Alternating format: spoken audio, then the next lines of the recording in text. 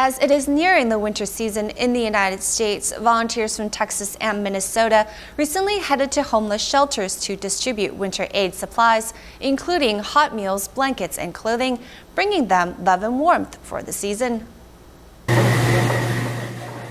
Volunteers, including young people who have never tried cooking, are busy making fried spring rolls for the homeless.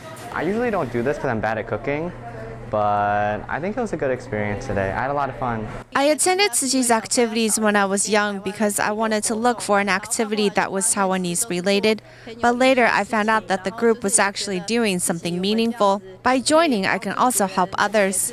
We enjoy doing this very much. Since all of my family members do it together, it's like an activity for the whole family.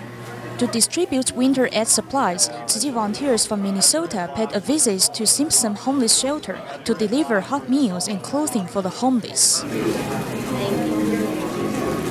The gift presentation I always find to be very humbling, and I very much appreciate the spirit of gratitude that we, as as that I with you, um, get to experience in giving the gifts, and that is a somewhat unique sentiment.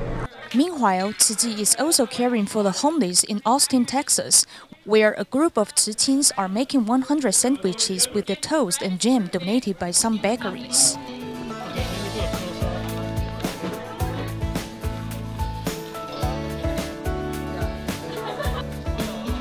As it is getting colder and colder in the winter season, volunteers bring aid supplies and food to the homeless shelter and distribute them to the needy, giving them warmth and love.